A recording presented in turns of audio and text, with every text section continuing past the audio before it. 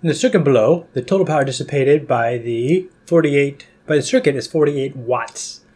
What is the value of the unknown resistor? What is the value of the current that flows through the 12 ohm resistor? Okay, so basically we want to find this value. And we want to find the current that's flowing through that resistor. So the first thing we're going to try and do here is, hmm.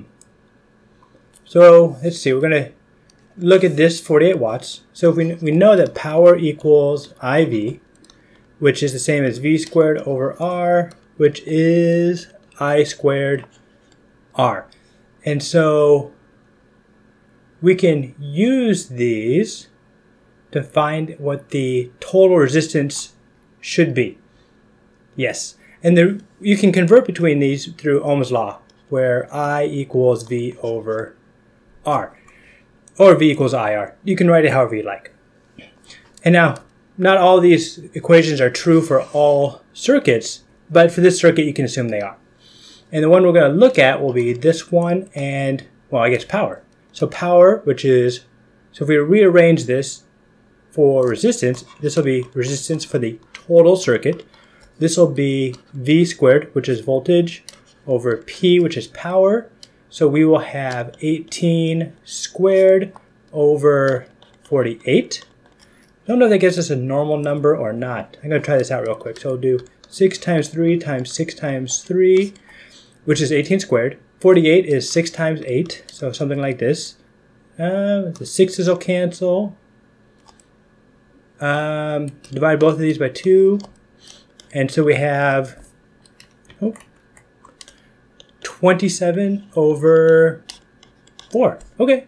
And that will be the total ohms of the whole circuit put together. So now we have that. So now I'm going to try and write this as an equivalent circuit. So I'm going to start by writing out that R total Move this a little bit closer. Equals, I'm just going to call this R, because I don't want to write unknown every time, plus, um, and I'm going to call this R equivalent, because I'm going to make some sort of equivalent circuit out of that. And so from this, we, we know what R total is. We know what R total is. We don't know what this is, but we can find this. And so what we want to do is we start reducing this to an equivalent circuit. So the way I'm going to do that is I'm just going to redraw it a whole bunch of times. So the first part I'm going to redraw is the top part. So the top part will be 3 ohms, same as it is. And then the next one is going to be 3 ohms as well. So normally the way you do circuits in parallel is, this is parallel, the parallel 1 over the R equivalence parallel will be 1 over R1 plus 1 over R2. Well, when the two resistors are the same, the equivalent resistance is just going to be half of, of one of them. So half of 6 is going to be 3. So I'm just going to do that quickly. Then we still have this 4 over 12. So I'm going to reduce the 4 over 12 real quick. I'm going to do it over here on my sidebar. Maybe scooch down over here. I know this makes my work extra messy. Purple. So 1 over 4. So I'm going to do 1 over R. I'm going to call this 4 and 12 equals 1 fourth plus 1 over 112. Com uh, common denominator, so we'll do 12, multiply both sides by 3, plus 1 over 12 gives us 4 over 12. So R, 4, 1, 12, parallel is, uh, let's see, this is 1 third. So this will also be 3 ohms. Very convenient. So this will be 3 ohms here. And then we're going to add that to a 7 ohm. I guess I probably could have left off the ohms, sort of implied. So now these are a little bit simpler. So now we can redraw this again as 6 ohms because we're combining two in series. And then we're going to have 10 ohms. Okay, and so now we're going to do these in parallel. So 1 over resistance 610 equals, that's just my little shorthand. 1 over 6 plus 1 over 10. We're going to do common denominator. We could do 30. Yes, I think I will do 30. So this will be 5 over 30 plus 3 over 30 gives us 8 over 30.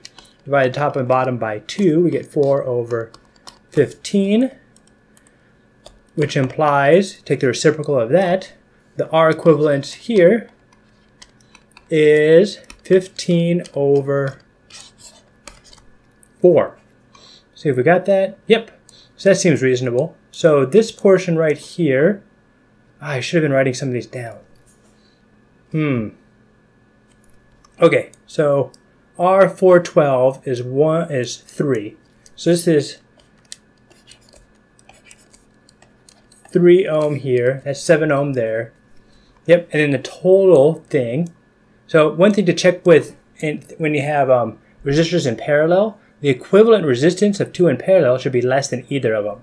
So this top part here was 6, this bottom part was 10, and we found an equivalent of 15 fourths, which is a little bit less than 4, which is less than 6, which is smaller of the two. So that seems reasonable. Okay, so now we got our R equivalent, and we have R total over here. And so to find the R unknown, we have R equals R total minus R equivalent. Again, we found this R total by knowing the power and the voltage supplied.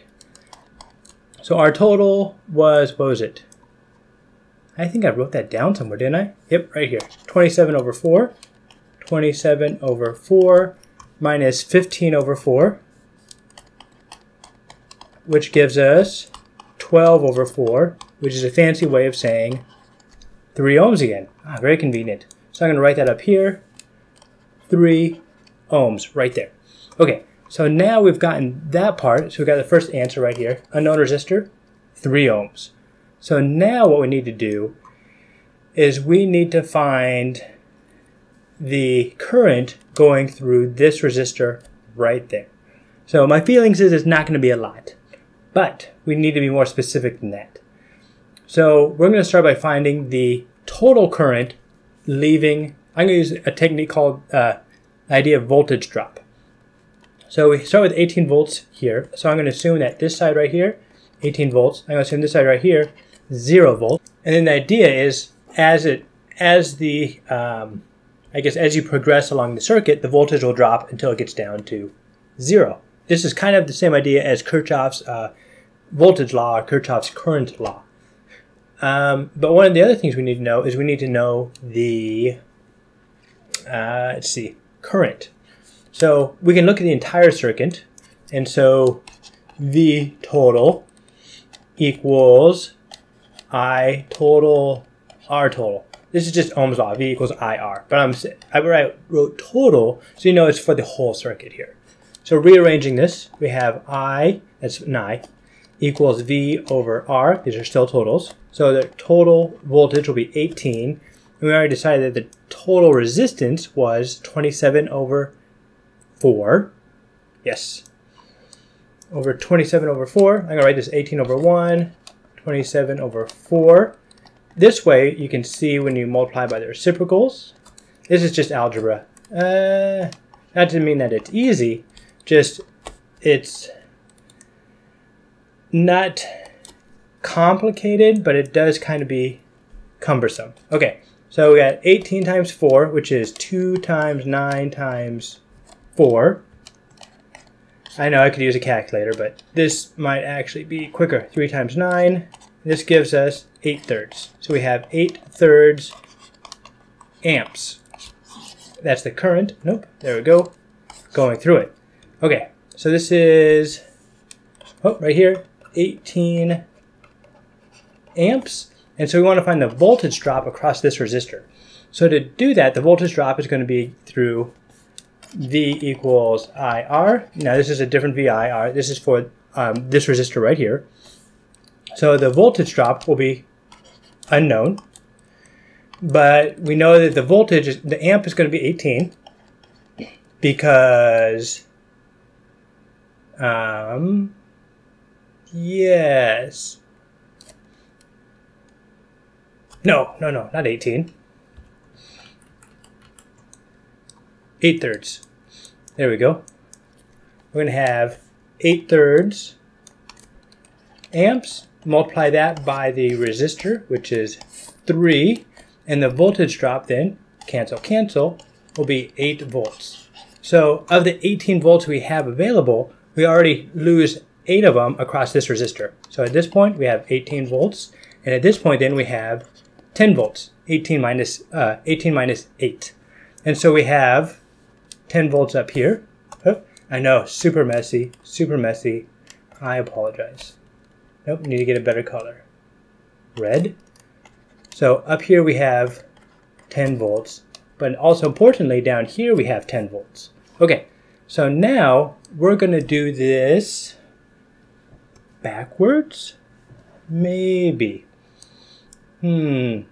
So our goal here is then to find the voltage at this point. So we know we have 0 volts here. We can backtrack that to right here to 0 volts. And we know that this is 3 ohms equivalent, and this is 7 ohms equivalent. So when they're together, since they're in series, we have an equivalent of, um, let's see here, 10 ohms. And so V equals IR. Rearrange that, we have I equals VR. What I'm going to find this time is current passing through this section right here. So that current is going to be V over R. So the voltage difference we have here is 10. 10, we're going to divide by the total resistance, which is 10 ohms, and that gives us 1 amp. So we have 1 amp passing through this section here.